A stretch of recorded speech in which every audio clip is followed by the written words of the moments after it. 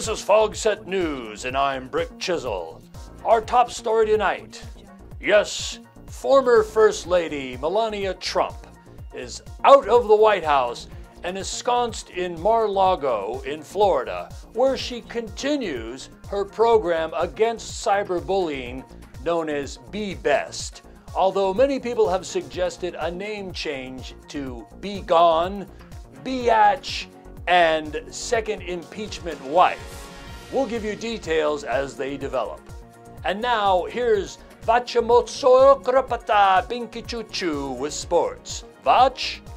Thanks, Brick. I'm Vatashoto Bakaritu Churapata. And there's not a whole lot going on in sports today that I'm interested in. Back to you, Brick. Thanks, Vach. Well, things have quieted down extremely after the tumultuous events of this last month. In fact, Trump is in the dumps. He's vowed to try to get back onto social media after being banned from Twitter for life.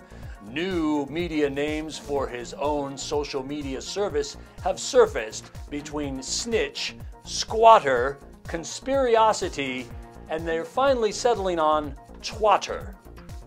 And yes, as unbelievable as the events have been in this past month, even more unbelievable is Elvis Presley has spoken from the grave about the election, contacted in a seance from Graceland, Tennessee. Here's the king.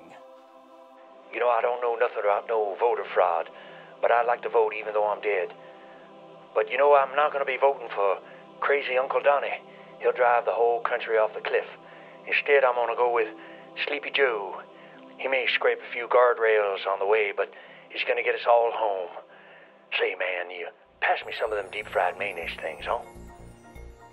Well, the nation has calmed down, so no news is good news. This is Brick Chisel for Fogset News. I'll be taking a nap.